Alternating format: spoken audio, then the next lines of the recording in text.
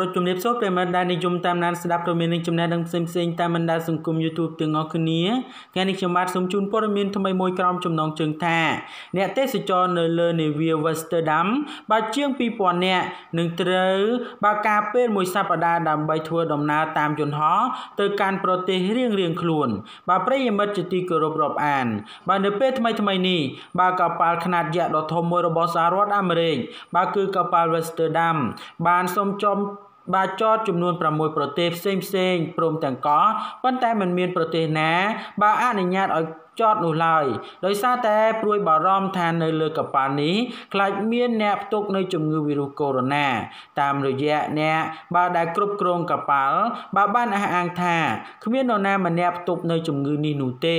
ដូច្នេះបន្ទាប់ពីមានការធានាត្រឹមត្រូវបាទអាជ្ញាធរកម្ពុជាក៏បានធ្វើការត្រួតពិនិត្យទៅលើភ្ញៀវទេសចរទាំងអស់បាទរហូតឃើញមិនមានភាពប្រក្រតីបាទរហូតដល់20នាក់អាជ្ញាធរកម្ពុជាក៏បានយកកំហៈរបស់ពួកគេ បាទទៅទីក្រុងភ្នំពេញភ្លាមភ្លាមផងដែរគឺបាទដើម្បីធ្វើការត្រួតពិនិត្យកំហៈបាទនៅវិទ្យាស្ថាន Master កម្ពុជា បន្ទាប់ពីត្រួតពិនិត្យហើយបាន បាទបញ្ជាក់ថាពួកគេគ្មាននរណាម្នាក់បាទមានជំងឺវីរុសកូវីដ -19 ផងដែរក៏អនុញ្ញាតឲ្យកប៉ាល់មួយនេះបាទបានចូលចតនៅកំពង់ផែនៃព្រះរាជាណាចក្រកម្ពុជា ហើយនៅក្នុងការចូលចតនេះផងដែរបាទនាយករដ្ឋមន្ត្រីនៃព្រះរាជា បាទនៃព្រះរាជាណាចក្រកម្ពុជា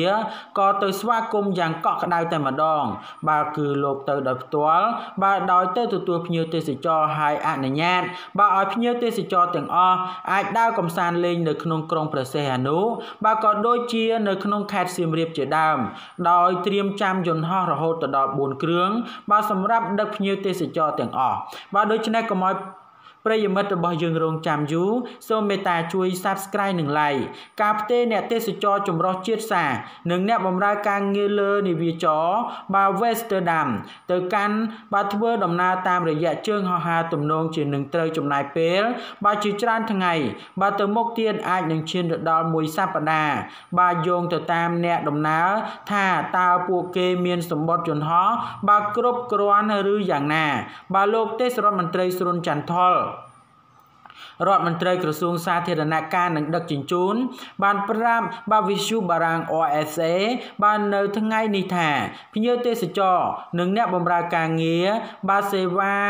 កំសាន្តបាកប៉ាល់យៈបាអាមេរិកមួយនេះនឹង ចំនួនជាង2000នាក់នឹងត្រូវចាក់ចែងត្រឡប់ទៅប្រទេសពួកគេរៀងរៀងខ្លួន បើវិញតាមរយៈជើងហោះហើរបើសរុបចំនួន12ជើង ដោយទុកតែនាវិកបើប៉ុន្មានអ្នកប៉ុណ្ណោះបើទៅ